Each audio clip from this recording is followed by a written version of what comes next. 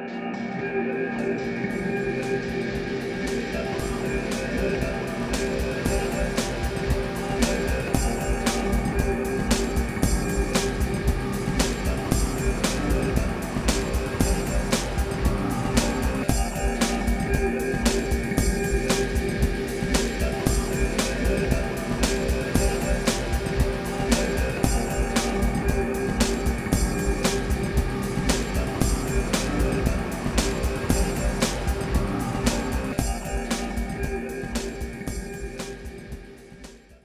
Hello and welcome to our virtual outreach presentations.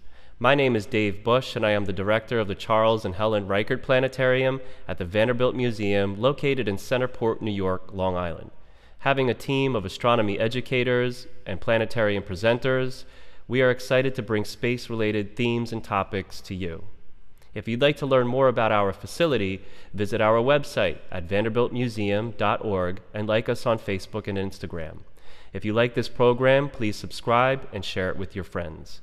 Today, I'm going to talk about how to use a telescope. Perhaps you just received a telescope, or maybe you've had one lying around for quite some time and you're finally ready to learn how to use it. Well, there's some very basic things that I would like to go over with you today so that you can start using it right away. Let's get started.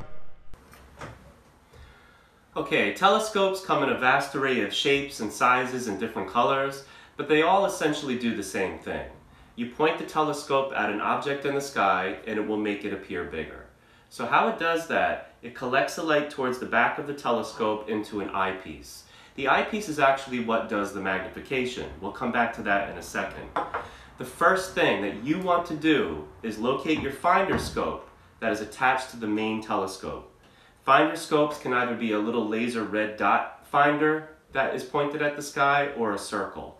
The other type of finder scope looks like a smaller little miniature telescope that is attached to the larger main telescope. You want to be able to align this finder scope with the main telescope. In order to do this, I would recommend that you do it during the daytime. Find an object that's way off in the distance that's fixed and does not move. Look through your finder scope and try and center that object compared to what's in the main telescope. So the point is you need to find that object in both the finder scope and the main scope and make sure that they're both looking at the same thing. If they're not, you have to loosen the adjustment screws and move your finder scope around until it's perfectly aligned with the main telescope. Once your finder scope is aligned with the main telescope, then you're ready to begin. The next thing you want to do is locate your eyepieces. Usually telescopes come with two eyepieces, one with a larger number and one with a smaller number. The larger number is the one that you want to use first.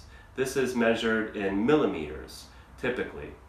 This one says 25 millimeters, so I'm going to use that one first. The other one is 9 millimeters. We can use that later if we want to make things look bigger. So what you do is you take your eyepiece and drop it into the back of the telescope in something called the star diagonal lock it down, and then you'll be able to look through it and find that object in the sky. If you have aligned your finder scope with the main eyepiece, then you're ready to begin. One of the first objects that I would recommend finding is the moon. The moon is absolutely amazing if it's out there at night. Now, there are filters that we can screw into the backs of the eyepieces that will make the moon not appear so bright. The moon can be very bright at night through a telescope. And if you happen not to have a moon filter, it's okay just to use a pair of sunglasses and that will get you well on your way. So grab your telescope, align your finder scope to the main telescope, and then you're ready to begin observing. Have fun. Well, there you have it. That is the end of today's program. We hope you enjoyed our first in a series of virtual outreach programs, and we'll see you again real soon.